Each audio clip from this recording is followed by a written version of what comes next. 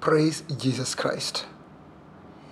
A man came from Baal Shalishah, bringing the man of God 20 loaves of barley bread baked from the first ripe corn, along with some ears of new corn. Give it to the people to eat. Elisha said, How can I set this before a hundred men? His servant asked. But Elisha answered, Give it to the people to eat, for this is what the Lord says. They will eat and have some left over. Then he set it before them, and they ate and had some left over according to the word of the Lord. Second Kings chapter number 4, verse 42 to verse 44. Grace for multiplication. We shall run a new program which we shall be saying activating grace of multiplication. I do not know the little that you have, how little it may be according to you. But in the Bible, there are so many diverse techniques of making that which is little in your hands to multiply and be in surplus. And today we are running key number one. I shall take you like through 12 keys each at a time how you may multiply the little that you have. And today we see key one according to the word of the Lord. This man brought some few first fruit harvest. And Elisha is saying, It is few, but he set it before men that they may eat. If you look at the number of the eaters was 100 men.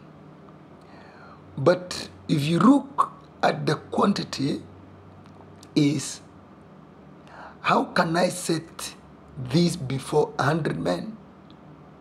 So meaning it was literal.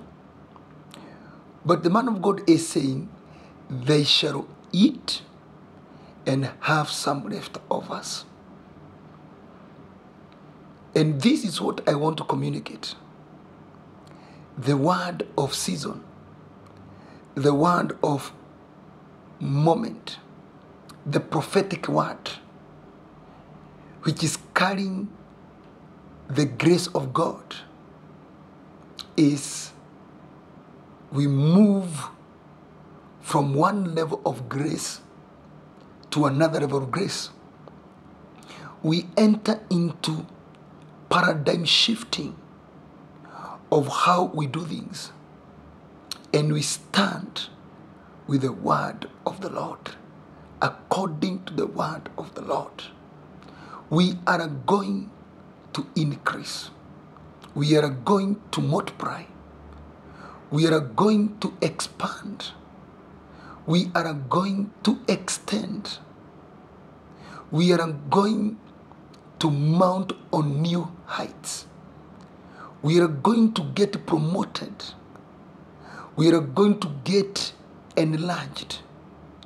But it will depend on the word of the Lord. Many people tend to use very diverse means and diverse ways, like witchcraft, like sorcery. Other go into even stealing. Other even use corruption, bribery. Other use deception and lies. Even other try to use grafting method.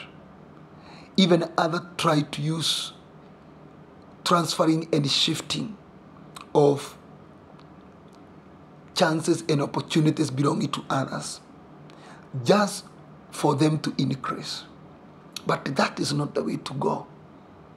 The way to go is according to the Word of God. And we are going to invest in other keys. And we see when combined, we can only grow. We can only grow out. We can only explode. That which seems literal, you can look at it tomorrow and you find yourself you can't even manage it.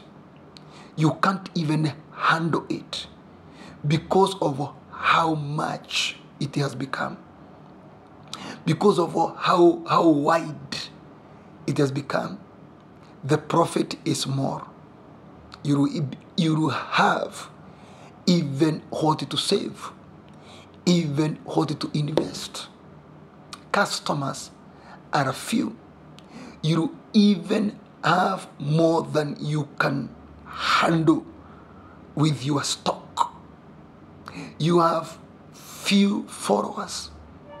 You shall have more than you can feed with the available information you have. You have small thing that you are doing now.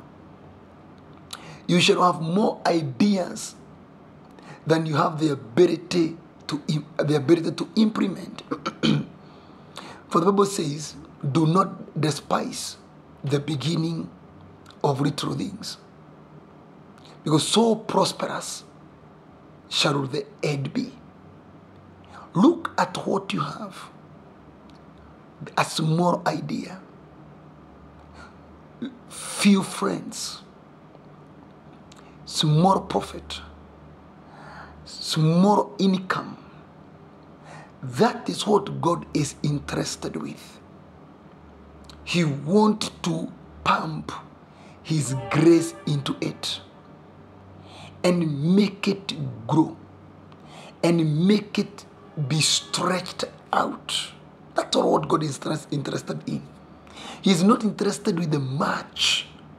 If you make 1,000 a day and you know your budget is 3,000 a day, God just need that 1,000.